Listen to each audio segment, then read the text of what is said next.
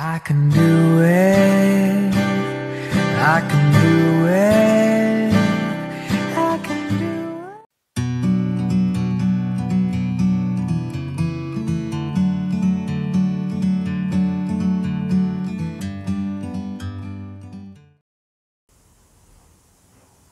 Generally, if we have absolute value of x equals to a and this absolute value expression is isolated in one side and equals to a non-negative number, we can go ahead and set up a compound equation x equals to a or x equals to negative a.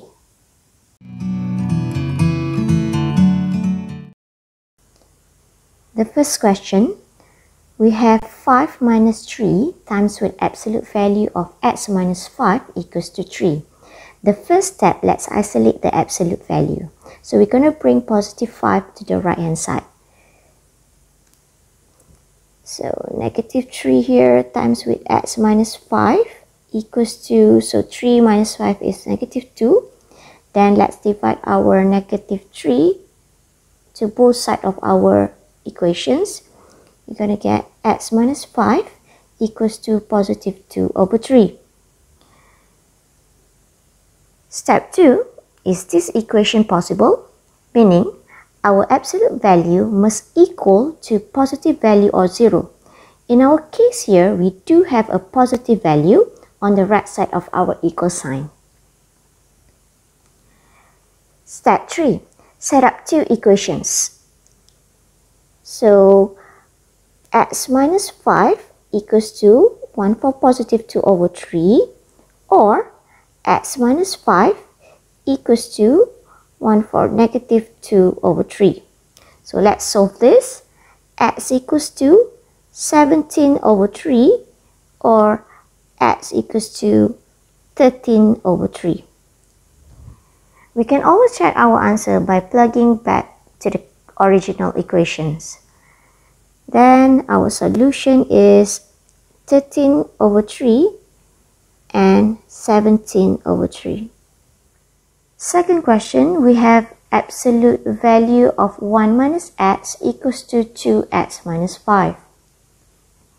For the first step, our absolute value has been isolated. Then, the second step, we need to write down two equations. 1 minus x equals to 2x minus 5 or 1 minus x equals to negative 2x minus 5. Then let's solve this. If we bring 2x to the left hand side, we're going to get negative x minus 2x. And if we bring 1 to the right hand side, we're going to get negative 1. So negative x minus 2x is negative 3x equals 2. negative 5 minus 1 is negative 6. So let us divide both sides of our equation with negative 3. So we're going to get x equals to positive 2. For the second equations, let us distribute the negative into the parentheses.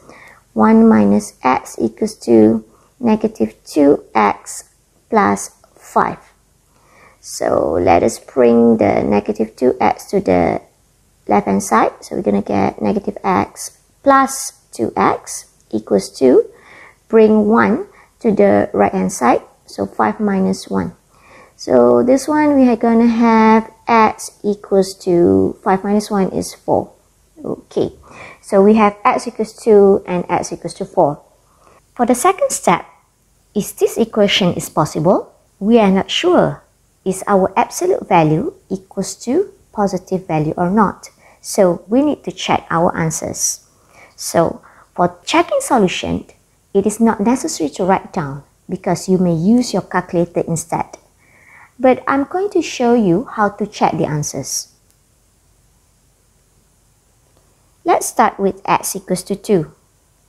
Substitute x equals to 2 on the left hand side. We have absolute value of 1 minus x. We're going to substitute x with positive 2. So 1 minus 2 equals to absolute value of negative 1. And we're going to get positive 1. And on the right hand side, we have 2x minus 5. Then 2 times with 2 minus 5 is equals to negative 1.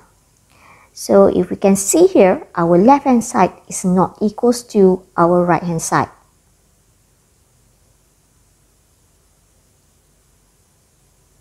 So x equals to 2 is not the answer.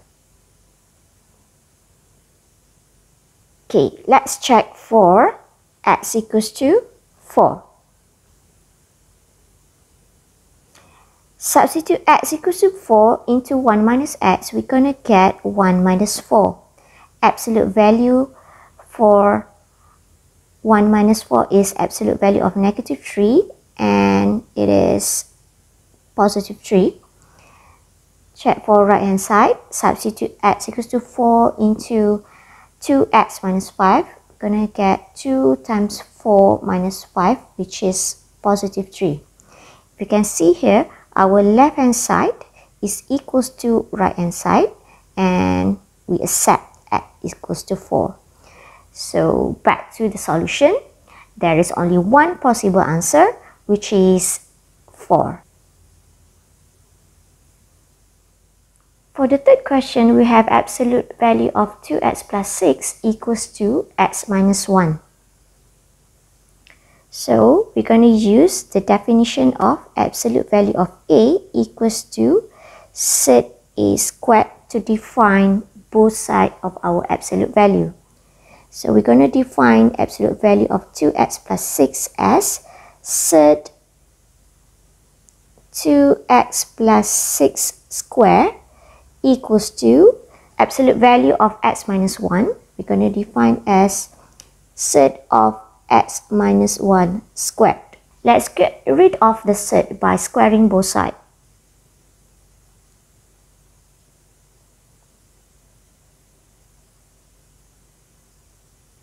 Same goes on the right hand side.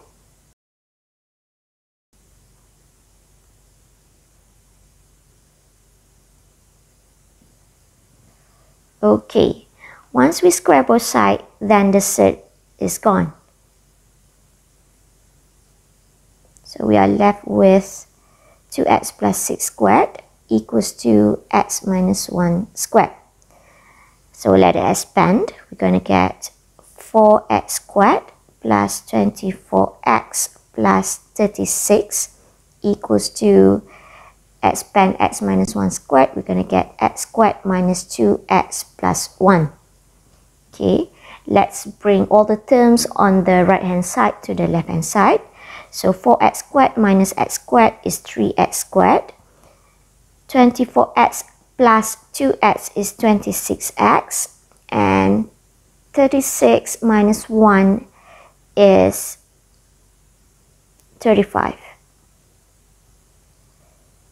Let us factorize our quadratic equations here. 3x plus 5. 3x plus 5 multiply with x plus 7 equals to 0. So we're going to get x equals to negative 5 over 3 and x equals to negative 7.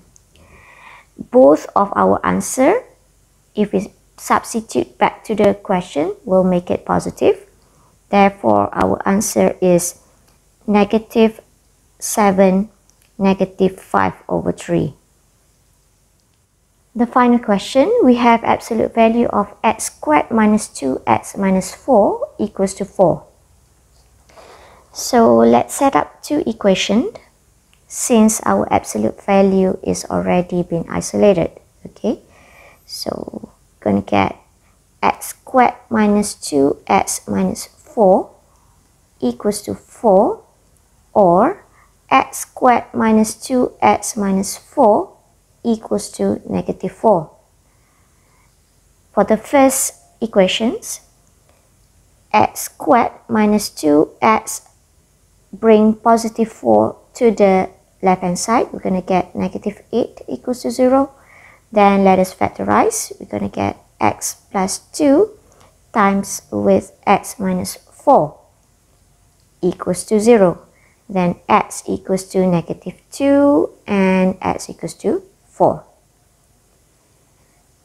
For the second equation, x squared minus 2x minus 4 equals to negative 4. Let's bring negative 4 to the left hand side. We're going to get x squared minus 2x equals to 0. Then let us factorize x times with x minus 2 equals to 0. We're going to get x equal to 0 and x equals to 2. Since our right hand side is already positive, then our solution in order is negative 2, 0, 2, and 4.